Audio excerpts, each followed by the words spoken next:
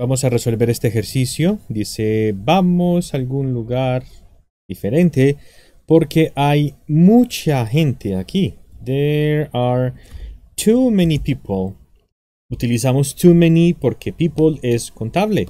Es decir, muchas personas. Más que too much se utiliza too many. Podrías contarlas. 1, 2, 3, 4 y demás. Luego dice, él solía ser un chico solitario, pero eh, ah, luego dice que tenía, él solía ser un chico solitario, que tenía pocos amigos. Pocos amigos utilizamos few friends. Si decimos little friends sería que los amiguitos son pequeñitos y lo que queremos decir es que tenía pocos amigos, few friends. En este ejercicio dice, hemos tenido, hemos tenido y luego dice lluvia recientemente. Hemos tenido, no se puede decir a lots of, se diría a lot of, a lot of rain recently. Utilizamos a lot of para decir que hemos tenido mucha lluvia y no se puede decir few rain, debería decir little rain, entonces por eso utilizamos a lot of rain. Hemos tenido muchas lluvias.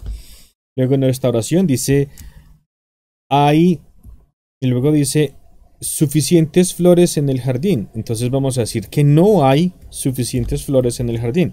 Utilizamos aren't, el futuro, porque flores está en plural.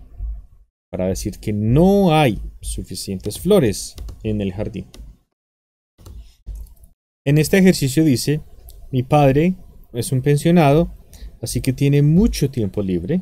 Las otras opciones son o para contables, many sería para palabras que terminen en S, pero time no termina en S en este caso y much of no se utiliza en este tipo de contextos. Dice, ¿cuántos niños tienes? Entonces, a lot of no la puedo dejar sola, debo poner algo más. None significa ninguno y any se utiliza pero cuando antes hay un verbo negativo. Entonces, ¿cuántos niños tienes? Ninguno. None.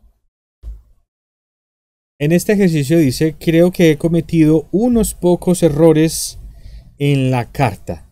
Fuse no existe, la idea era decir pocos, pero no en este caso. Y match se utiliza con palabras que son incontables, o sea que no pueden terminar en S. Mistakes termina en S. Luego dice, no hay necesidad de apurarse, tenemos suficiente tiempo. Y se dice plenty of time es una expresión para decir que tenemos suficiente tiempo. En este ejercicio dice, él no tiene la suficiente edad, se diría, he isn't old enough.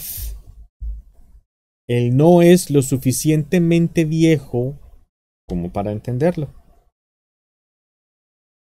En este ejercicio dice que tenemos mucho trabajo. Trabajo es incontable, entonces utilizamos too much work. Y así terminamos este ejercicio. Nos vemos en el próximo.